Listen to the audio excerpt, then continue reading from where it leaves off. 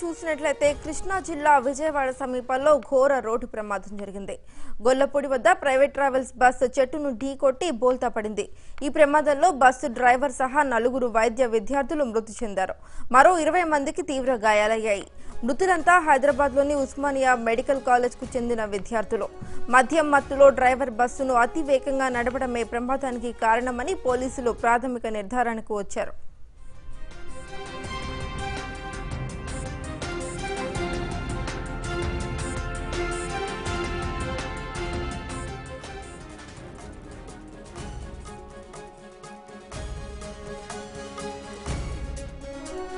Osmania medical college students అమలాపురంలో జరిగిన క్రీడా పోటీల్లో పాల్గొని సోమవారం రాత్రి తిరుగు ప్రయాణమయ్యారు. మద్యం మత్తులో బస్సు నడపవద్దని విద్యార్థులు వారించడంతో డ్రైవర్ వారితో గొడవ పడ్డాడు. హఠాత్తుగా బస్సును పక్కకు తిప్పడంతో ప్రమాదం జరిగిందని విద్యార్థులు తెలిపారు.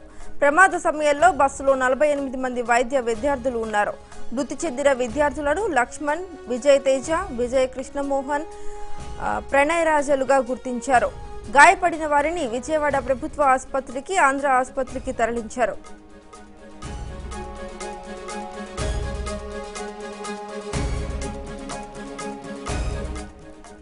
ప్రమాద విషయం తెలుసుకున్న తెలంగాణ మంత్రి లక్ష్మారెడ్డి ఉన్నతాధికారులతో కలిసి హుటాహుటిన ఘటనా స్థలానికి బయలుదేరి వెళ్ళారు. పరిస్థితిని సమీక్షించి మంత్రి ఆసుపత్రిలో చికిత్స పొందుతున్న విద్యార్థులను పరామర్శించారు. వారి ఆరోగ్య వివరాలను వైద్యులను అడిగి తెలుసుకున్నారు. వైద్య విద్యార్థుల మృతి పట్ల సీఎం కేసీఆర్ తీవ్ర దిగ్భ్రాంతి వ్యక్తం చేశారు. గాయపడిన విద్యార్థులకు మెరుగైన వైద్య సేవలు అందించేలా చూడాలని అధికారులను ఆదేశించారు.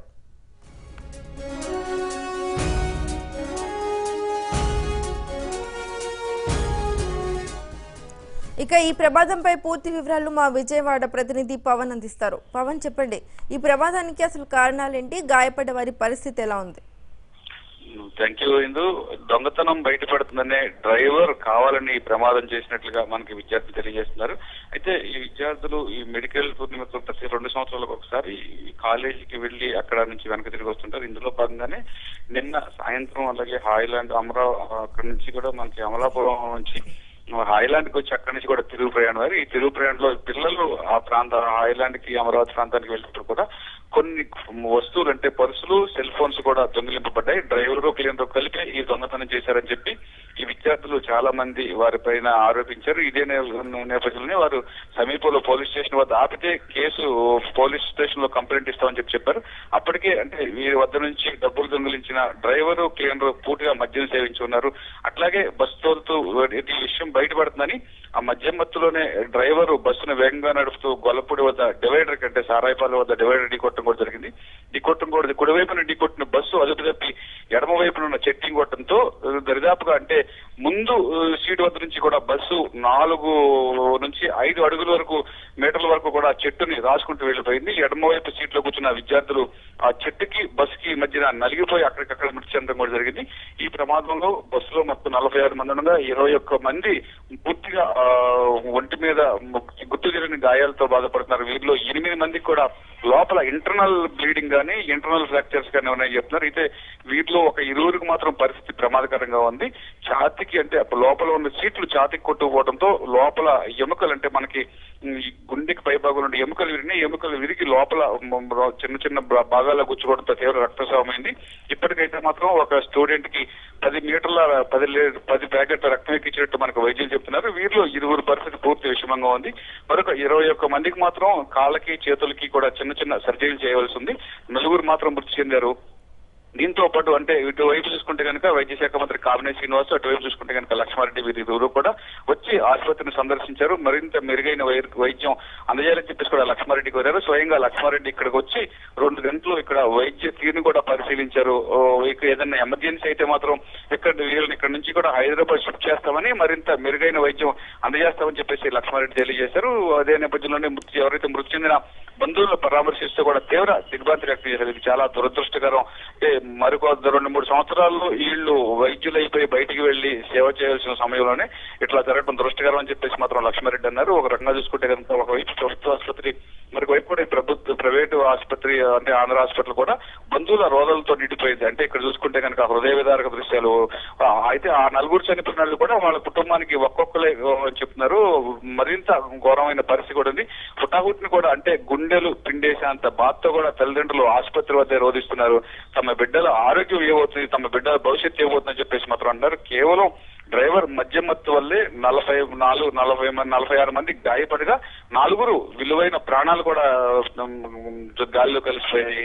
మద్యమత్తు మూలంగా ఇదంతా జరిగిందని చెప్పేసి ఆరోపిస్తారు ఇప్పటికైనా అంటే ఏదన్నా జరిగితే మాత్రం ఇటువంటి డ్రైవర్లను కాకుండా కొద్దిగా మంచి డ్రైవర్లు ఏర్పాటు చేసుకోవాలి. ఇటువంటి సమయాల్లో వచ్చినప్పుడు మాత్రం అత్యంత జాగ్రత్తలు పాటించాలి. ఇదే కాకుండా కళాశాల ఉస్మానియా కళాశాలకు సంబంధించిన కేర్ టేకర్స్ కానివ్వండి దానికి సంబంధించిన ఎవరైనా ఈ ఈ బస్సులో లేకపోవడం మూలంగానే ప్రమాదం జరిగిందని చెప్పేసి ఈ బంది బా- దీనికి సంబంధించిన మృతి చెందిన వారి తల్లిదండ్రులు వాళ్ళకి దెబ్బలతో గాయాలయ్యి తీవ్ర ఇబ్బంది ఇబ్బందులు మన ఆసుపత్రిలో చికిత్స పొందుతున్న వారి తల్లిదండ్రులు బంధువులు కూడా ఆరోపిస్తారు ఓకే. చనిపోయిన వారిని గుర్తించారా? వాళ్ళ తల్లిదండ్రులకి అప్పగించారా వాళ్ళని? అంటే కొద్దిసేపటి క్రితం కూడా వీరందరినీ చనిపోవడంతో కూడా ప్రభుత్వ ఆసుపత్రి మార్చి తరలించారు. అక్కడ లాంఛనాల ప్రకారం పోస్ట్ మార్టం అనంతరం పన్నెండు గంటల ఒంటి గంట సమయంలో ఆ పిల్లల్ని విద్యార్థులు కూడా వారి బంధువులకి అప్పగించేందుకు అన్ని ఏర్పాట్లు చేస్తున్నారు. త్వరితగతిన ఏదైతే చిన్న చిన్న దెబ్బలతో కోలుకున్న విద్యార్థులకు విజయవాడ ఆర్టీసీ బస్ నుంచి కూడా వారి వారి గమ్యాలు చేర్చేందుకు ఇక్కడ ప్రభుత్వం ఆర్టీసీ అలాగే కలెక్టర్ కూడా అన్ని ఏర్పాట్లు చేస్తారు. మరి కొద్దిసేపట్లో కొంతమంది పిల్లల్ని అంటే కొంత అవుట్ పేషెంట్గా ట్రీట్ చేసి బయటకు పంపించిన పిల్లల్ని హైదరాబాద్ పంపించున్నారు. అలాగే మూడు రెండు గంటల నుంచి మూడు గంటల మధ్యన కూడా ఈ ఇది చనిపోయిన ఈ మృతదేహాలకు పోస్ట్ మార్టం గురించి వారి శవాలను కూడా వారి తల్లిదండ్రులకు అప్పగించేందుకు అన్ని ఏర్పాట్లు చేస్తారు ఇందుకు okay right thank you Pavan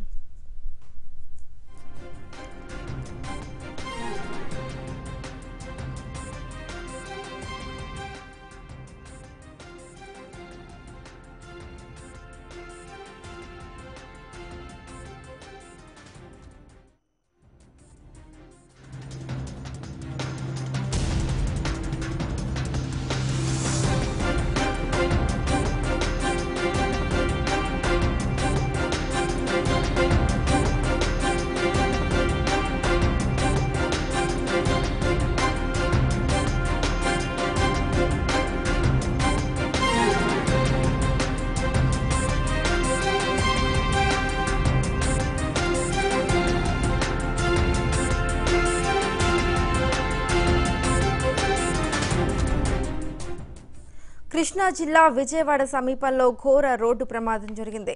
Gollapudi వద్ద ప్రైవేట్ ట్రావెల్స్ బస్సు చెట్టును ఢీకొట్టి బోల్తా పడింది. ఈ ప్రమాదంలో బస్సు డ్రైవర్ సహా నలుగురు వైద్య విద్యార్థులు మృతి చెందారు. మరో ఇరవై మందికి తీవ్ర గాయాలయ్యాయి. మృతులంతా హైదరాబాద్లోని ఉస్మానియా మెడికల్ కాలేజ్కు చెందిన విద్యార్థులు.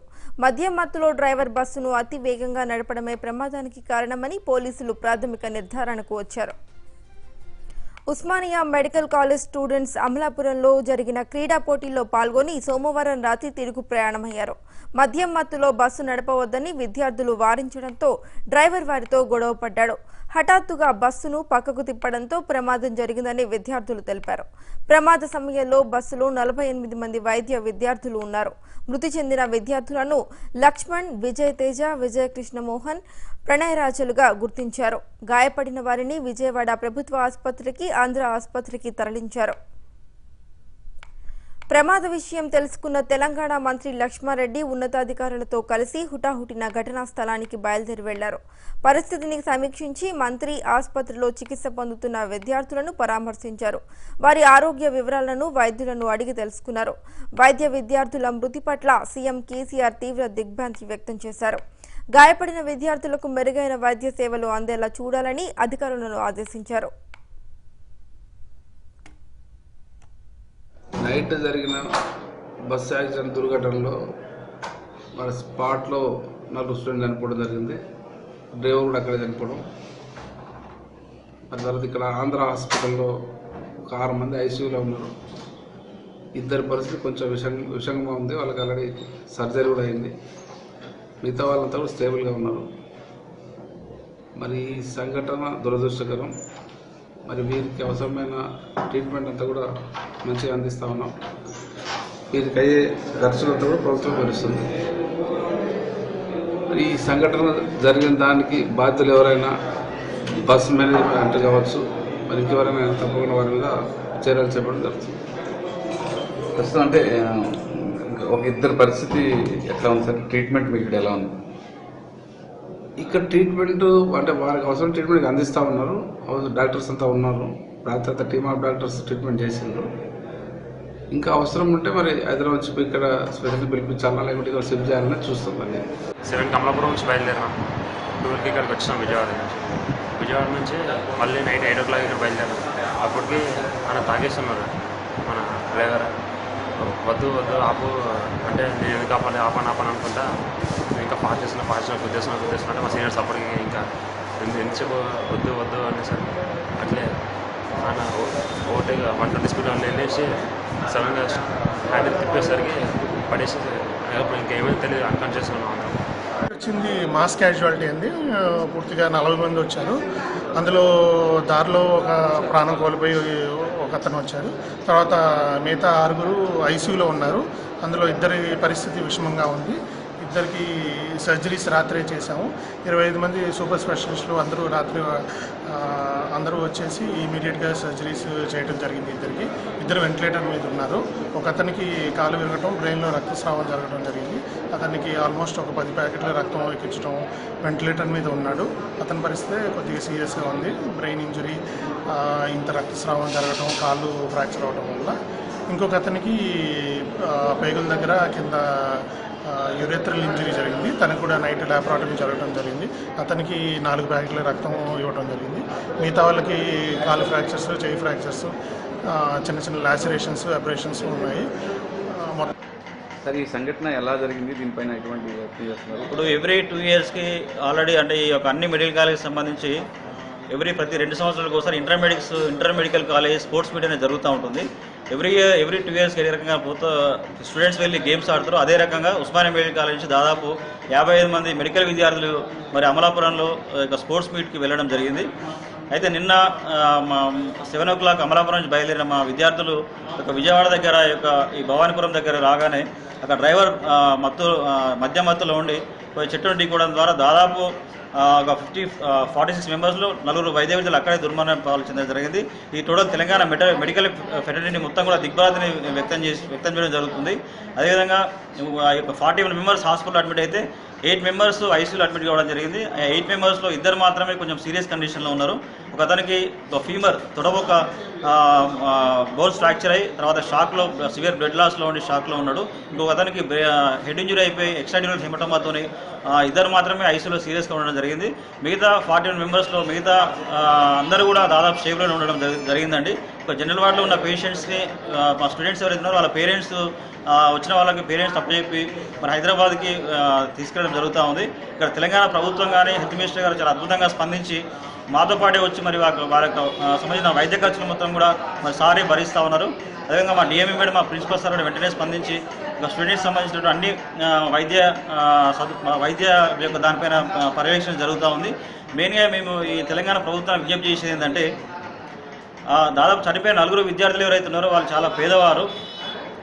పూర్ మెడికల్ స్టూడెంట్స్ వాళ్ళ పేరెంట్స్ వాళ్ళపై డిపెండబుల్ క్యాండిడేట్స్ కాబట్టి తెలంగాణ ప్రభుత్వం గౌరవ ముఖ్యమంత్రి గారు దీనిపై స్పందించి వాళ్ళకి భారీ మొత్తంలో హెచ్చరిక ఇస్తే వాళ్ళ పేరెంట్స్కి ఆసరవుద్దని చెప్పి ఈ సందర్భంగా మేము తెలంగాణ ప్రభుత్వం విజ్ఞప్తి చేయడం జరుగుతుంది.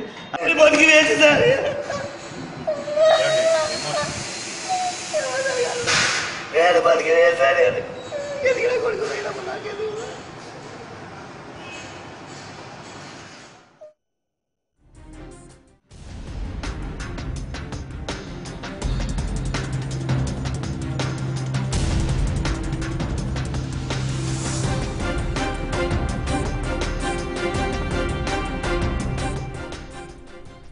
ఇక ప్రస్తుతం ఘటనా స్థలంలోనే ఉన్న జూనియర్ డాక్టర్ల ప్రతినిధి శ్రీనివాస్ గారితో మాట్లాడే ప్రయత్నం చేద్దాం. శ్రీనివాస్ గారు నమస్తే అండి. నమస్తే మేడం. ప్రమాదంలో గాయపడ్డ వారి పరిస్థితి అసలు ఎలా ఉంది? దాదాపు ఫార్టీ సిక్స్ మెంబర్స్ నిన్న ఈవినింగ్ సెవెన్ ఓ క్లాక్ నుంచి అమలా అమలాపురం నుంచి బయలుదేరడం జరిగిందండి. ఇక్కడ భవానీపురం దగ్గర విజయవాడ నైట్ టెన్ థర్టీ ప్రాంతంలో డ్రైవర్ మార్గ మధ్యలో మత్తులో ఆల్కహాల్ మత్తులో ఉండి చెట్టును ఢీకొట్టడం ద్వారా దాదాపు నాలుగు నలుగురు వైద్య విద్యార్థులు అక్కడక్కడ మృతి చెందడం జరిగింది. అదేవిధంగా మిగిలిన ఫార్టీ వన్ మెడికల్ స్టూడెంట్స్ ఇక్కడ దగ్గరలో ఉన్న ఆంధ్ర హాస్పిటల్స్లో జాయిన్ చేయించడం జాయిన్ చేయించారు జాయిన్ చేశారు. దానిలో ఎయిట్ మెంబర్స్ ఐసీలు ఉన్నారు. ఆ ఎయిట్ మెంబర్స్లో ఇద్దరు విద్యార్థులు doctor Srujan and doctor Rajesh ఇద్దరు వైద్య విద్యార్థులు కూడా కొంచెం సివియర్ సీరియస్ కండిషన్లో ఉన్నాడు. దాంట్లో రాజేష్కి రైట్ తొడబొక్కటి రైట్ ఫీవర్ ఫ్రాక్చర్ అయింది. అదేవిధంగా బ్రెయిన్లో కొంచెం హిమటమా ఫామ్ అయింది. ఆ తర్వాత సుజీత్ అనే వైద్య విద్యార్థికి ఇంట్రా అబ్డామిల్ ఇంజురీ జరిగింది. వాళ్ళిద్దరికి మాత్రమే ఒక అబ్బాయి వెంటిలేటర్ మీద ఉన్నాడు. ఇద్దరు మాత్రమే సీరియస్ కండిషన్లో ఉన్నారు. మిగతా అందరూ కూడా స్టేబుల్ కండిషన్లో ఉన్నారు. ఎవరైతే స్టేబుల్గా ఉండి జనరల్ వార్డులో ఉన్నారో వాళ్ళందరూ కూడా వాళ్ళ పేరెంట్స్ పిలిపించి తెలంగాణ గవర్నమెంట్ మా మినిస్టర్ గారు మా డిఎంఈ మేడం మా ప్రిన్సిపల్ ఆ, వెంటనే వాళ్ళకి సంబంధించిన వైద్య సదుపాయాలకు సంబంధించి అన్ని చర్యలు తీసుకుంటూ వాళ్ళ పేరెంట్స్తో మాట్లాడి మరి స్టేబుల్గా ఉన్న వైద్య విద్యాలయాన్ని హైదరాబాద్కి వాళ్ళ నేటివ్ ప్లేస్ షిఫ్ట్ చేయడం జరుగుతుంది. ఓకే. అక్కడ ఇంకా మిగతా వాళ్ళకి ఎలాంటి ప్రాణాపాయం లేనట్లేనా? ఇంకెవరికైనా మిగతా వాళ్ళంటే ఇద్దరే కొంచెం సీరియస్ కండిషన్ ఉన్నారు మేడం. వాళ్ళు doctor Rajesh and doctor Sujith. మిగతా వాళ్ళందరూ కూడా స్టేబుల్గా ఉన్నారు. మెయిన్గా ఏంటంటే ఇక్కడ తెలంగాణ ప్రభుత్వం హెల్త్ మినిస్టర్ సార్ తర్వాత డిఎంఈ మేడం ద్వారా మా ప్రిన్సిపల్ సార్ వెంటనే స్పందించి వాళ్ళకి సంబంధించిన అన్ని రకాల వైద్య చర్యలు చేపట్టడం జరుగుతూ ఉంది. అంతేకాకుండా మేము తెలంగాణ జూనియర్ గురించి ఒకటే మేము తెలంగాణ ప్రభుత్వం విజ్ఞప్తి చేస్తా ఉన్నాం. ఆ చనిపోయిన నలుగురు విద్య వైద్య విద్యార్థులు ఎవరైతే ఉన్నారో వాళ్ళందరూ కూడా చాలా పూర్ ఫ్యామిలీకి చెందినటువంటి వాళ్ళు వాళ్ళ పేరెంట్స్ యొక్క వైద్య విద్యాలయం మీద డిపెండబుల్ పేరెంట్స్ కాబట్టి వాళ్ళకి తెలంగాణ గవర్నమెంట్ గౌరవ ముఖ్యమంత్రి గారితో మాట్లాడి కొంచెం కొంచెం ఎక్కువ మొత్తంలో ఎస్డేషన్ ఇస్తే వాళ్ళకు ఫ్యామిలీస్కి హెల్ప్ అవుతుందని చెప్పి ఈ సందర్భంగా మేము ప్రభుత్వం విజ్ఞప్తి చేయడం జరుగుతుంది ఓకే అసలు ఈ యాక్సిడెంట్కి ప్రధాన కారణం ఆ, ఓన్లీ డ్రైవర్ తాగడం వల్ల లేకపోతే విద్యార్థులకి డ్రైవర్కి ఏదైనా వా- వాగ్వాదం జరిగిందా అసలు కారణం ఇక్కడ? స్టూడెంట్స్ ఏంటంటే వాళ్ళ డ్రైవర్ తాగి ఉండి వీళ్ళు స్పీడ్ అన్కంట్రోల్డ్ స్పీడ్లో వెళ్ళడం ద్వారా పిల్లలు స్లోగా వెళ్ళండి స్లోగా వెళ్ళండి వాళ్ళ డ్రైవర్తో వారించడం జరిగింది. అలా వారించే సమయంలోనే అతడు అంటే ఇది అన్కంట్రోల్డ్ కండిషన్లో ఇంకా స్పీడ్ పెంచి ఆ, డ్రై బస్సు అదుపు తప్పి ట్రే- ఢీకోవడం జరిగింది. అంతేకాకుండా ఇతను ఆల్కహాల్ మత్తులో ఉండి అతని యొక్క క్లీనర్ కూడా ఒక వీళ్ళ యొక్క సెల్ ఫోన్లు తర్వాత కొంతమంది బ్యాగులు కూడా ఏమంటాం దాన్ని దొంగిలించడం జరిగింది. దానిపైన కూడా వీళ్ళకి వాదనలు జరిగాయని చెప్పి మాకు ఇన్ఫర్మేషన్ వస్తుంది మేడం. ఓకే శ్రీనివాస్ గారు మామూలుగా నైట్ టైం జర్నీ అంటే ట్రావెల్స్ బస్సులో ఇద్దరు డ్రైవర్లు ఉంటారు. కానీ ఇక్కడ ఒక్క డ్రైవరే ఉన్నాడా? ఇంకో డ్రైవర్ కూడా ఉన్నాడా? ఒకరే డ్రైవర్ ఉన్నారు మేడం. యాక్చువల్లీ మా వాళ్ళు ఏమన్నారంటే ఇంకో డ్రైవర్ కూడా ఏర్పాటు చేయండి అని చెప్పి మా స్టూడెంట్స్ ఈ ట్రావెలర్స్ యాజమాన్యాన్ని కూడా రిక్వెస్ట్ చేయడం జరిగింది.